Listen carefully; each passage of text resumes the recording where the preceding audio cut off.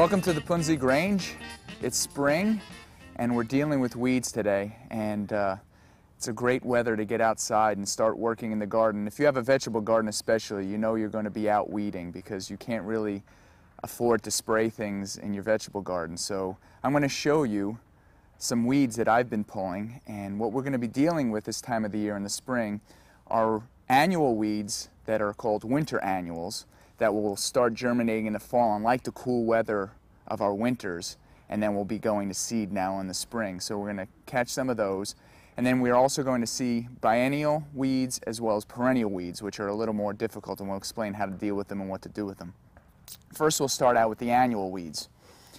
Uh, there's two annual weeds, the major annual weeds that you see. One is uh, shotweed. It's called shotweed. It's also called, called bitter cress, and that's because it's related to cress and probably isn't as tasty as the cress you get in a salad. So that's probably why its other common name is bitter cress. But the reason it's called shotweed, you can already see this early in the season. You can see the flowers, but you can also see the seed pods. Fortunately, the seed pods aren't ripe yet, but when they become ripe and you hit them, all these little seeds, there's little, all little seeds in here. When you hit it, it'll shatter and the, the seeds will just pop all over the place. That's why now in the Pacific Northwest, you're going to see these everywhere. I even see them in the woods when I go hiking. So they're, they're prevalent everywhere. Seeds last for years, so it's not like you're ever going to get rid of them, but you want to make sure that you clean them up. These can be dug under if you're digging up under deeply because they're annual weeds. Once they're underneath and they don't get any more sun, they'll die and decompose and make a good uh, cover crop for the winter if, if you happen to not put a cover crop of your own. Another good weed, annual weed, that you can dig into the soil is chickweed. And this isn't flowering yet, but you can get a, a close look at that. As you can see, shot, again, the root system isn't that deep. It's very fibrous, just like the shotweed was.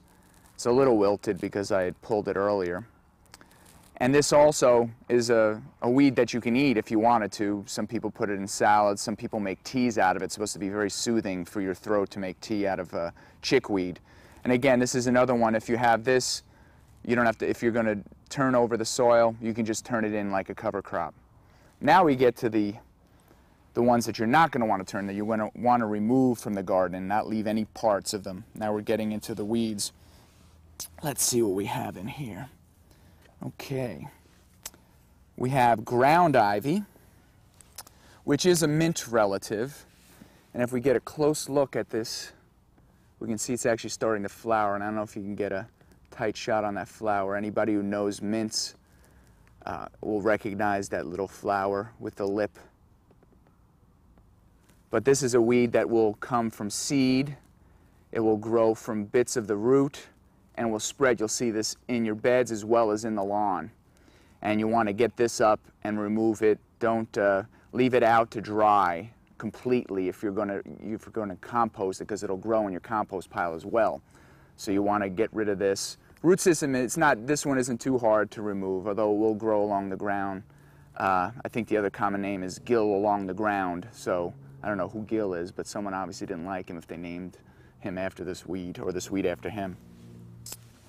Let's see, and that, would, that one is a perennial. Of course, we have the dandelion, everybody's favorite.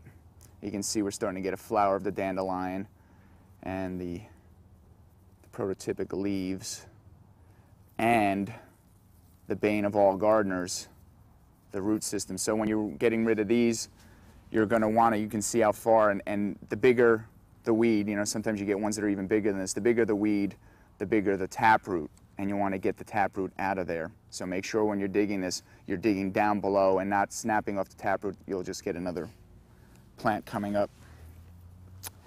This one is a biennial, and it looks kind of like it, like the dandelion. It's called false dandelion, and this is a biennial. First year, you'll just see leaves. Second year, this is the second year, it will get a flower and root. Again, not quite as bad of a taproot, but still make sure you get all of this stem in little pieces because it will spread underground. Any piece left will sprout again. Then we have sheep sorrel which you can see this one is a running. You can eat this, so if you want to get revenge on your weeds, a lot of these are edible. Um, but you can see how this spreads. It's just, So you have to make sure you're very careful to get all these little roots. Any bit of this root left behind will sprout a new plant.